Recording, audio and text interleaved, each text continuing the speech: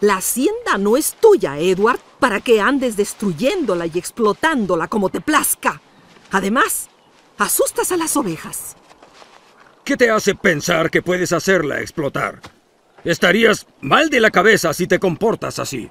Las tierras no son tuyas, Edward. No puedes destruirlas y dinamitarlas solo porque tú lo deseas.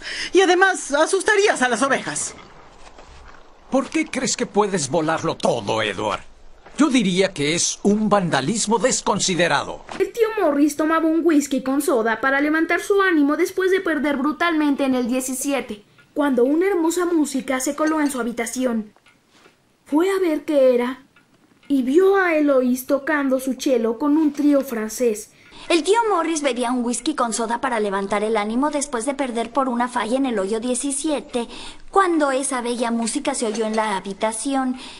Y fue a ver quién tocaba y ahí vio a Eloís tocando el cello, en un trío francés. Creo que llevaré esto al estudio. ¿Por qué?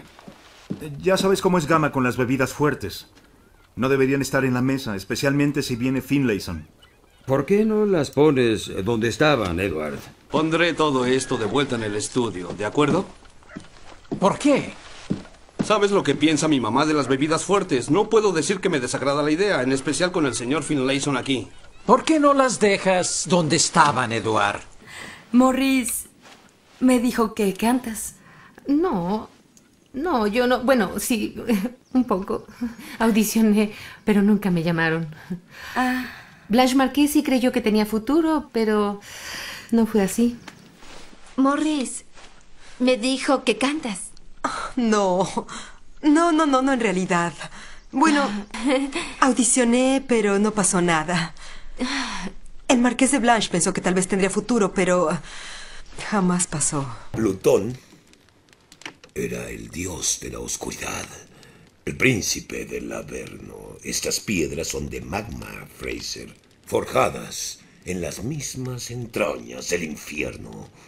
Hablando geológicamente, por supuesto.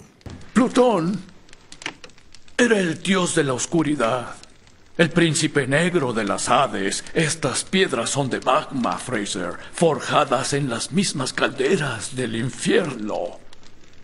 Hablando geológicamente, claro. Me parece que escuché que habrá Bonespil en Kiloran este invierno. ¿m? En honor de los recién casados. ¿Y quién, ¿Quién lo haría, señor Finlayson? ¿Quién lo haría? ¿Edward? Pues, si el señor quiere bendecirnos con tres pulgadas de hielo negro, será exactamente lo que tengamos, Sir David. Me parece haber escuchado que habrá juegos de curling en Kiloran este invierno, en honor de los recién casados. ¿Y quién los culpa, David? Exacto, ¿quién los culpa, señor Finlayson? ¿Quién? Si el señor nos manda la bendición de tres pulgadas de puro hielo, entonces es con exactitud lo que tendremos, señor David. Y reunir fondos para las familias de sus pobres mineros. Mami y tía Eloís podrían ser prostitutas, atenderían nuestras necesidades y ganarían una fortuna para los mineros. Y podrían servirle a papá y al tío Morris y a cualquier persona que pudiera pagar sus servicios lascivos. Reunir fondos para las familias de los pobres mineros. Mi mamá y mi tía Eloís pueden ser las prostitutas, atenderían nuestras necesidades y ganarían una fortuna para los mineros.